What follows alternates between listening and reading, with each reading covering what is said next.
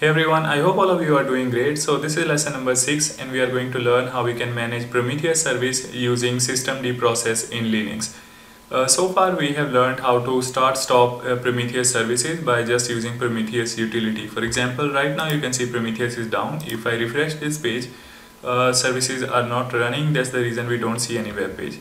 Now, if I go back to this server where we have Prometheus uh, available and if I do pwd, this is the current working directory I am in. So I need to move on to Prometheus directory.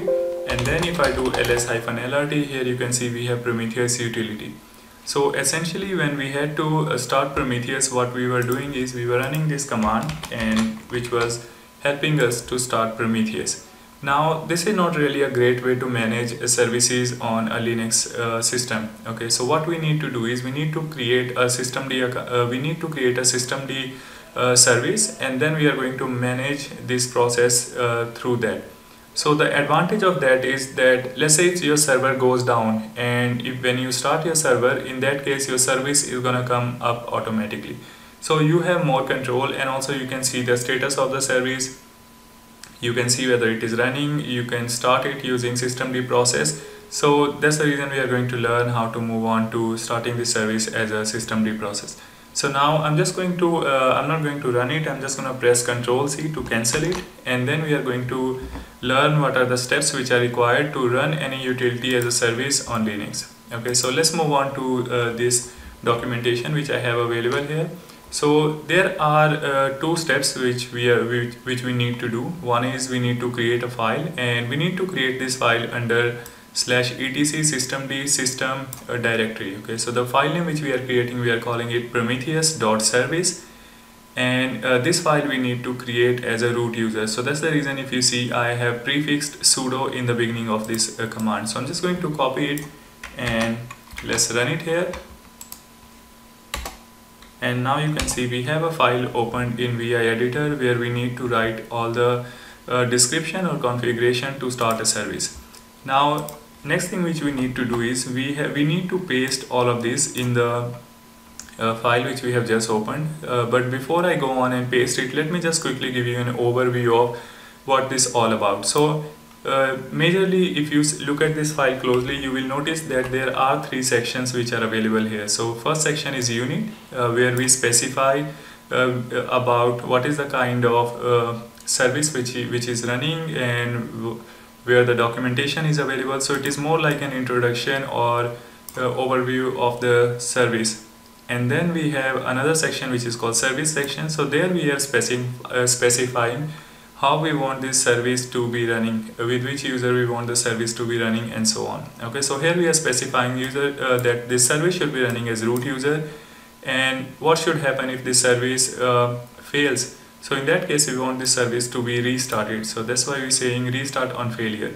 And then in execution start we are specifying where our Prometheus file is. Okay so here now if you see I have given complete path of wherever Prometheus utility is available. So I have given slash home slash Prometheus slash Prometheus dot whatever the full path was and then we are specifying our configuration file is available at this location. So if you notice here in this uh, in this command line we have not given the full path because we were always moving to the directory from where uh, where this Prometheus utility was available. So that's why we were just specifying dot slash and Prometheus. Now here we need to specify the complete uh, path. So just make a note of the, this. And now the next section which is uh, available is called install section where we are saying that this is a soft dependency uh, to start this service. So that's all we need. We are just going to copy it and we are going to paste it in the file which we have just created and this is a VI editor which I'm using. If you're using any other editor, just follow the steps which is required to uh, copy paste this file. Now I have saved the file and exited from here. So if you just want to see again what is the content in this file, so we can just do cat and we can see this file and this is what we see available here. Okay, and now what I'm gonna do is we need to reload this uh, daemon configuration. So I'm going to run this command. I'm just gonna go there and going to paste this command here and now we are good to manage our uh, Prometheus service using system uh, systemd command. So I'm just gonna write uh, let's clear the screen once. And then I'm going to write systemctl and let's prefix it with sudo. And we are going to write status Prometheus and right now you can see it is saying that Prometheus is not running it is inactive and it is dead. And also if I just go back uh, to this Prometheus web page if I try to refresh it you can see that it is not running. That's the reason we see a failure uh, Prometheus page. Now I'm going to start the service. In order to start the service uh, step is very easy. You just have to replace status with start. So I'm just gonna change it to start and hit enter. And now Prometheus service is started so if we want to verify the status we can run the status command again. Hit enter. And this time you can see it is showing uh, the status is in active state. And now we can go to Prometheus. We can just refresh this web page and hopefully it is gonna work. So as you can see it is working now. And if you want to stop the service you just have to run stop command. So I'm just gonna go again going to change the status to stop. Hit enter. And now let's check the status again here and now you can see it is showing as inactive again. Just gonna go back to uh, Prometheus web page going to refresh it. And this time it is not going to load. So you saw how easy it is. So you can do the similar thing for alert manager or node exporter as well. So that's all in this lesson. See you again in the next lesson